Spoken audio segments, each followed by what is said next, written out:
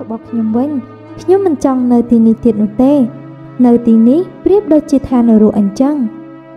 បឺរីត្រូវបានឃុំខ្លួននៅទីនេះហើយនាងពិតជាភ័យខ្លាចខ្លាំងណាស់តែមិនដឹងថាត្រូវធ្វើយ៉ាងណានោះឡើយព្រឹកស្អែកក៏បានមកដល់រាជបុត្រក៏បានយាងមកបន្ទប់ឃុំនោះតែទ្រង់មិនបានឃើញបឺរីនៅទីនោះនោះទេទោះបីជាសោនៅក្នុងហៅប៉ៅរបស់ទ្រង់ក៏ដោយហើយរាជបុត្រក៏បាននិយាយថា តើក្មេងស្រីកង្វៀមម្នាក់នេះបាត់ទៅណាហើយអីក៏ចម្លែកម្លេះនៅទីនេះគ្មានអ្នកណាចិញ្ចូលក្រៅពីយើងនោះទេហើយក្មេងម្នាក់នេះរត់ទៅណាបាត់ទៅអូនេះប្រហែលជាទេពអសរម្នាក់នោះហើយយើងនឹងតាមចាប់ហើយយើងនឹងដាក់ទោសយើងលែងអាណិតទៀតហើយរាជបុត្របានប្រកាសឲ្យគ្រប់គ្នាតាមរកបឺរីនិងទេពអប្សរដើម្បីយកមកដាក់ទោសតែគ្មានអ្នកណាប្រទះឡើយ ព្រោះមិនដឹងថាពួកគេបាត់ទៅណានោះទេរាជបុត្រកាន់តែខឹងឡើងខឹងឡើងស្រាប់តែពេលនោះម្ចាស់បងរាជបុត្រក៏បានយាងមកតាមទៀតយ៉ាងមិនទៅហើយជេមីតើឯងបានលក់នាងឲ្យទៅធ្វើជាទីស្ករហើយឬនៅ យើងដូចជាមិនបានឃើញនាងនៅទីនេះនោះទេទូបង្គំក៏មិនបានឃើញក្មេងកងវៀននៅទីនេះផងដែរនាងច្បាស់ជារត់ទៅណាជាពំខានហើយ វាពិតជាគួរឲ្យខឹងខ្លាំងណាស់ម្ចាស់បងដូចដែលយើងបាននិយាយអញ្ចឹងឯងគួរតែដាក់ទោសនាងតាំងតែពីដំបូងមិនអញ្ចឹងទេនាងក៏មិនអាចរួចខ្លួនបែបនេះដែរលើកក្រោយចាប់បានទូបង្គំនឹងសម្លាប់ជាពំខានព្រោះក្មេងកងវាម្នាក់នោះពិតជាសំណាងខ្លាំងណាស់មិនដឹងថាបានអ្នកណាមកជួយនាងនោះទេរាជបុត្រត្រូវបានម្ចាស់បងកំណាចរបស់ទ្រង់បញ្ចុះបញ្ចូលទ្រង់រហូតភ្លេចទៅថាខ្លួនឯងគឺជាអ្នកណានោះ ច្រើនថ្ងៃបានកន្លងផុតទៅរាជបុត្របានធ្វើអាក្រក់ដាក់អ្នកគ្រប់គ្នា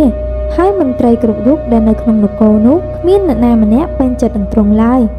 ហើយទេពអប្សរក៏បានបង្ហាញខ្លួននៅមុខរាជបុត្រនៅក្នុងនគរហើយទេពអប្សរក៏បាននិយាយទៅកាន់រាជបុត្រថា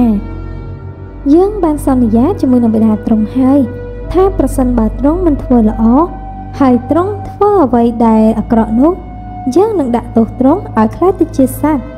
ហើយបើថ្ងៃណាមួយទ្រង់ធ្វើល្អទ្រង់នឹងខ្លាចទៅជាមនុស្សវិញវេទមន្តសូមដាក់ទោសរាជបុត្រជេមីនេះភ្លាមទៅស្រាប់តែពេលនោះរាជបុត្រក៏បានខ្លាចទៅជាសត្វមន់ហើយរាជបុត្រក៏បាននិយាយទៅកាន់ទេពអប្សរថាហេតុអ្វីក៏យើងខ្លាចទៅជាសត្វមន់បែបនេះវាមិនសមតតែសោះតែយើងមិនបានធ្វើអ្វីខុសនោះទេរាជបុត្រគិតអ្វីទ្រង់បានដឹងហើយ មិនចាំបាច់ខ្ញុំម្ចាស់ប្រាប់ទ្រង់ម្ដងហើយម្ដងទៀតទេទ្រង់ត្រូវតែទទួលស្គាល់ការពិតចំពោះរឿងដែលបានកើតឡើងនៅថ្ងៃមុខទៀតនោះនិយាយរួចទេពអប្សរក៏បានបាត់ខ្លួនទៅ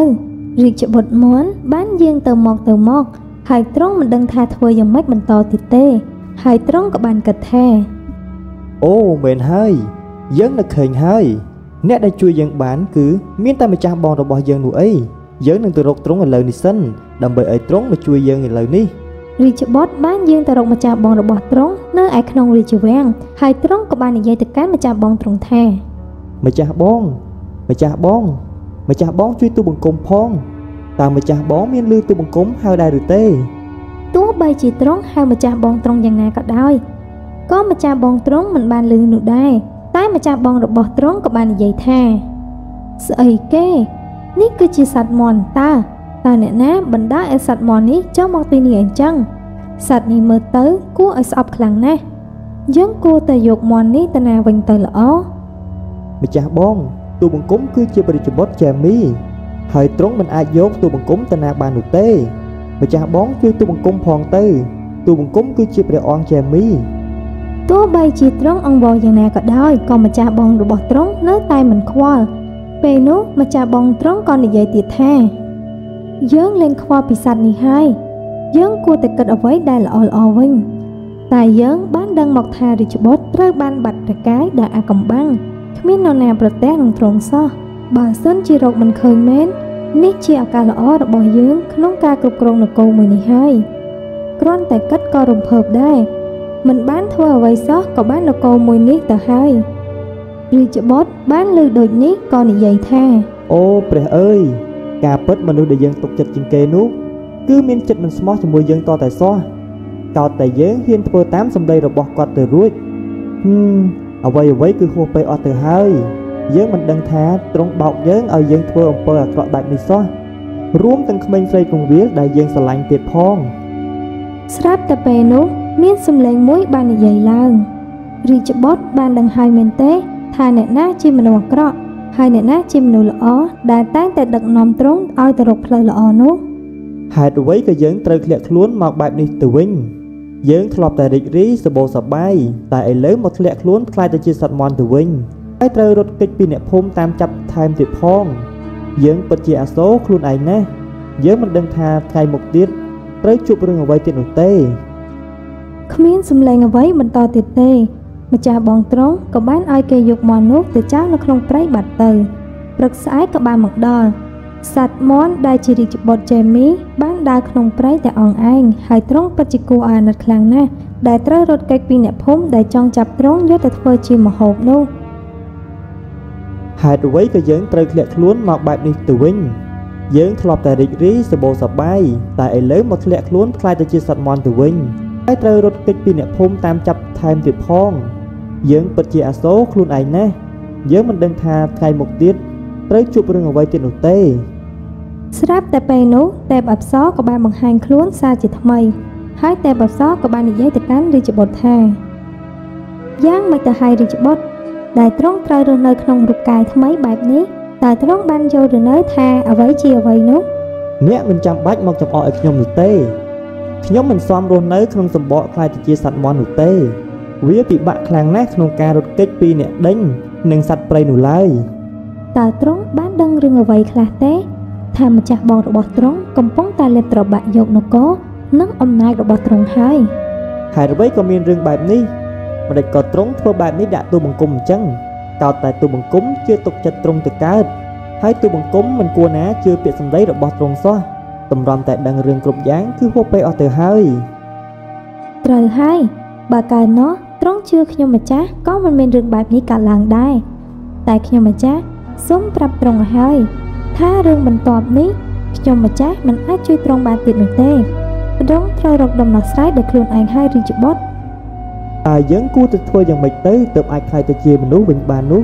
រឿងនេះពិតជារញ៉េរញ៉ៃខ្លាំងណាស់នគររួមទាំងលីកបាឡាំងត្រូវបានម្ចាស់បងលួចទៅអស់ទៀតខ្ញុំម្ចាស់មិនអាចជួយទ្រង់បានទៀតនោះទេ តែដំណោះស្រាយ គឺមានឲ្យតែទ្រង់ប្រព្រឹត្តតែអំពើល្អធ្វើអំពើល្អយ៉ាងម៉េចនឹងកើតទៅ បើខ្ញុំគ្រាន់តែជាសត្វមន់មួយក្បាលនោះតែតែបាសោះបានឃើញក្មេងស្រីកងវាពពែម្នាក់នោះទេ នាងបានបាត់ខ្លួនយូរណាស់មកហើយបើតែបាសោះបានដឹងសូមជួយប្រាប់ខ្ញុំឲ្យបានដឹងផងតើទ្រង់ចង់ជួបនាងដើម្បីអ្វីទៅតើនាងមានកំហុសអ្វីមែនទេ គឺខ្ញុំចង់សុំទោសនាង ចំពោះអំពើអាក្រក់ដែលខ្ញុំបានប្រព្រឹត្តទៅលើនាង អត់ទេខ្ញុំម្ចាស់មិនបានឃើញក្មេងស្រីកងវាពពែអ្វីនោះឡើយទ្រង់គួរតែស្វែងរកនាងដោយខ្លួនឯងចុះព្រោះទ្រង់ជាអ្នកបង្ករឿងនោះឡើងហឹមខ្ញុំមិនគួរណាដើរផ្លូវខុសបែបនេះសោះតើគួរតែធ្វើបែបណាទៅនេះ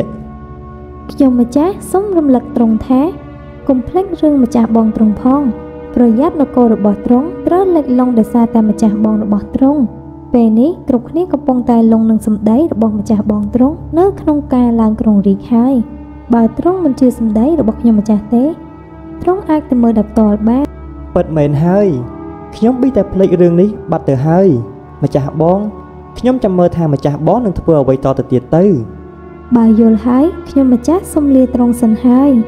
ទេពអប្សរក៏បានចាក់ចែងបាត់ទៅ រាជបុត្រជេមីបានធ្វើដំណើរទៅរកម្ចាស់បងរបស់ទ្រង់នៅឯក្នុងនគរតែរាជបុត្រមន់ក៏បាននិយាយនៅមុខម្ចាស់បងរបស់ទ្រង់ថាម្ចាស់បងទូបង្គំមិននឹកស្មានសោះថាទ្រង់ជាមនុស្សអាក្រក់លោភលន់បែបនេះសោះទូបង្គំមិនគួរណាឲ្យទ្រង់ចូលមកក្នុងនគរនេះឡើយម្ចាស់បងរបស់ទ្រង់មិនដឹងថារាជបុត្រនិយាយពីអ្វីឡើយហើយម្ចាស់បងរបស់ទ្រង់ក៏បាននិយាយថាហេតុអ្វីក៏សត្វមន់នេះមកទីនេះទៀតហើយ តើអ្នកណាជាអ្នកនាំសត្វមន់នេះឲ្យចូលមកក្នុងនគរនេះតែមិនអីនោះទេវាគ្រាន់តែជាសត្វមន់មួយក្បាលតែប៉ុណ្ណោះតែឯងក៏ចាំស្ដាប់យើងណាយើងនឹងដឹកនាំនគរមួយនេះឲ្យពិបាកបំផុតយើងគៀបសង្កត់អ្នកភូមិឲ្យធ្វើការឲ្យយើងប្រមូលផលបានទាំងប៉ុន្មានត្រូវបរិច្ចាគមកឲ្យនគរនេះហើយយើងមិនខ្វល់ថាពួកគេអត់ឃ្លានយ៉ាងណាក៏ដោយរាជបុត្រដឹងបែបនេះហើយទ្រង់ក៏បាននិយាយវិញថាព្រះអើយ តើម្ចាស់បងធ្វើបែបនេះដាក់នគររបស់យើងមិននឹងកើតទៅ តាំងពីដើមឡើយយើងនិងបិតារបស់យើងមិនដែលធ្វើបែបនេះដាក់ในភូមិរបស់យើងឡើយបើម្ចាស់បងធ្វើបែបនេះដាក់ឲ្យពួកគេតើឲ្យពួកគេពឹងលើអ្វីទៅទោះបីជាខ្ញុំជាសត្វមន់ក៏ពិតមែនយើងនឹងរកដំណោះស្រាយជូនអ្នកភូមិរបស់យើងហើយយើងមិនចោះចាញ់ឡើយម្ចាស់បងរបស់ទ្រង់ក៏បាននិយាយទៅកាន់សត្វមន់នេះតែមិនដឹងថាមន់នេះគឺជារាជបុត្រនោះឡើយ អោសត្វមន់នគរអាណិតអើយជីវិតរបស់ឯងកំសត់ដូចជារាជបុត្រចេមីអញ្ចឹងតែមិនអីនោះទេយើងអាចចិញ្ចឹមឯងបានព្រោះជីវិតរបស់យើងមិនដូចមុនទៀតនោះឡើយពេលនេះយើងគឺជាម្ចាស់ស្ត្រីដែលត្រូវគ្រប់គ្រងនគរមួយនេះចេះតែលើកតម្កើងខ្លួនឯងជាម្ចាស់ស្ត្រីទៅកើតបើទ្រង់មានល្បិចធ្វើបាបឲ្យយើងធ្លាក់ខ្លួនមកដល់ពេលនេះសោះម្ចាស់បងពិតជាអាក្រក់ដូចជាបិសាចមែន សត្វមន់តើឯងដឹងទេថាមានរឿងអ្វីកើតឡើងចំពោះរាជបុត្រជេមីទៅដំណឹងរបស់ទ្រង់ក៏គ្មានអ្នកណាដឹងដែរវាពិតជាអាកំបាំងពេកហើយ តែយើងមិនខ្វល់យ៉ាងណាយើងបាននគរនេះទាំងមូលទៅហើយបងគុំសង្ឃឹមថាយកនគរមួយនេះដែលងាយស្រួលឲ្យសោះយើងនឹងរកវិធីលុបលាងកំហុសរបស់យើងឲ្យខ្លាចទៅជាមនុស្សដូចដើមវិញហើយយើងនឹងដាក់ទោសទ្រង់ឲ្យធ្ងន់បំផុតម្ចាស់បងចាំតែមើលទៅចុះ យើងមិនគិតថារាជបុត្រនឹងត្រឡប់មកវិញនោះទេទ្រង់ប្រហែលជាត្រូវទេពអប្សរនោះសម្លាប់បាត់ទៅហើយគ្មានថ្ងៃទ្រង់មកបង្ហាញព្រះកាយទេយើងក៏មិនស្មានថាយើងមានថ្ងៃនេះដែរជេមីអើយជេមីហេតុអីក៏ឯងឆាប់ជឿយើងយ៉ាងនេះយើងមិននឹកស្មានថាម្ចាស់បងរបស់យើងបែបនេះទៅសោះតែចាំមើលទៅ យើងនឹងមិនលើកលែងទោសឲ្យត្រង់ដាច់ខាត យើងនឹងដាក់ទោសត្រង់ឲ្យធ្ងន់បំផុតគ្មានអ្នកណាអាចធ្វើអ្វីយើងបាននោះទេ យើងមិនខ្លាចឡើយតែថ្ងៃនេះអារម្មណ៍ល្អយើងគួរតែទៅកាត់សម្លៀកបំពាក់សិនតើល្អទេទោះបីជាមិនល្អក៏គ្មានអ្នកណាមកទៅយើងបានដែរព្រោះនៅទីនេះយើងមានអំណាចជាងគេ យើងទៅហើយណាសត្វមន់កំសត់អើយម្ចាស់បងត្រង់ក៏យាងចេញបានទៅរីច្បត់ក៏បានត្រឡប់ទៅក្នុងព្រៃវិញដែរព្រោះថាត្រង់ត្រូវរកដំណោះស្រាយតទៅទៀតក្រឡេកមកមើលបឺរីវិញ គ្មានអ្នកណាដឹងថានាងអាចគេចខ្លួនបានដោយសារអ្វីនោះទេបឺរីបានរស់នៅក្នុងព្រៃជ្រៅតែគ្មានអ្នកណាមកដល់នោះឡើយបឺរីក៏បាននិយាយថាតើរីច្បុតយ៉ាងម៉េចទៅហើយមិនដឹងថាទ្រង់បានឲ្យគេតាមចាប់ខ្ញុំឬក៏អត់ជីវិតកំសត់របស់ខ្ញុំអើយប្អូនស្រីប្អូនស្រី មានលឺបងហៅឯងទេពេលនោះទេពអប្សរក៏បានចេញមកហើយទេពអប្សរក៏បាននិយាយទៅកាន់បឺរីថា សួស្តីបងបឺរីតើបងយ៉ាងម៉េចទៅហើយបងមានអ្វីចង់ឲ្យខ្ញុំជួយបងមែនទេអត់ទេប្អូនស្រីខ្ញុំគ្រាន់តែចង់សួរឯងបន្តិចនឹងណាខ្ញុំចង់ដឹងថាតើអ្នកនៅក្នុងនគរនោះតាមរកខ្ញុំទៀតឬក៏អត់បើថ្ងៃនោះមិនបានឯងមកជួយខ្ញុំទេខ្ញុំប្រកាសជាខ្លាចទៅជាទាសកររបស់គេជាមិនខានឡើយគឺពួកគេនៅតាមចាប់បងអញ្ចឹងតែបងកុំបារម្ភអីខ្ញុំមិនឲ្យអ្នកណាធ្វើបាបបងបានឡើយ ហើយនៅក្នុងនគរនោះកំពុងតែរញ៉េរញ៉ៃខ្លាំងណាស់ពួកគេកំពុងតែដណ្ដើមរាជគ្នាហើយម្ចាស់បងត្រង់ក៏កំពុងតែកាន់អំណាចជំនួសរាជបុត្រផងដែរអូពិតជាគួរឲ្យអាណិតខ្លាំងណាស់ខ្ញុំស្មានថារស់នៅក្នុងនគរហើយជាបុត្ររបស់ស្ដេចទៀតត្រូវរស់នៅដោយសុខស្រួលហើយតាតែមិនយល់ថាគ្រប់គ្នាចង់បានរីកបល្ល័ង្កសោះហើយ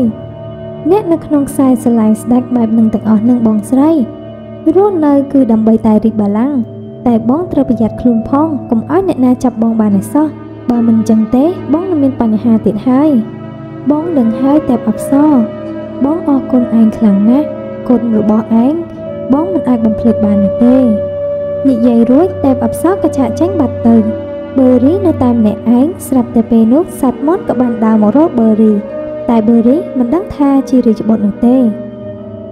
អោសត្វមន់អើយមិនដេចក៏ឯងដើរមកដល់ទីនេះអញ្ចឹង ឯងដឹងទេថាគ្មានអ្នកណាឬក៏សត្វអ្វីមកដល់ទីនេះឡើយឯងជាសត្វដំបងហើយពេលដែលរាជបុត្របានជួបនឹងបឺរីហើយរាជបុត្រក៏បានកាត់ក្នុងចិត្តទៀតថាអូនេះគឺជាបេរីទេតើតាមពិតនាងនៅមានជីវិតនៅឡើយទេ